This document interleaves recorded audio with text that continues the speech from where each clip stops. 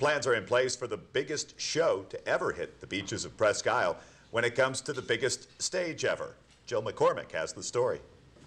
All is quiet here at Beach 11 today, but that will change on June 23rd as Crosby, Stills, and Nash take the stage. The Presque Isle Partnership is hosting this event, and the goal is to do as little damage as possible to the beach when they bring in the gigantic stage.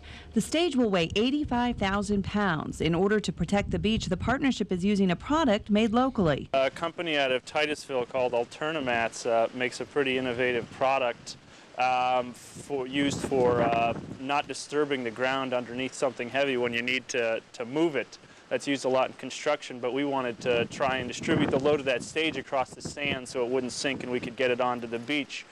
The mats were tested on the beach using a dump truck that weighs close to the weight of the proposed stage. Uh, the mats uh, performed beautifully, and uh, looks to be the direction that we're going to move in going forward. The mats have been in use for quite some time, but not for a project like this one. We've sold them for over 10 years and they're using for construction, forestry, many, many different applications. And uh, you can see that the dump truck ran across them with very little deflection over top the sand. The setting will be an intimate one for anyone lucky enough to get a ticket to the concert on June 23rd. 4,000 tickets are being offered. More than three quarters of those tickets have already been sold.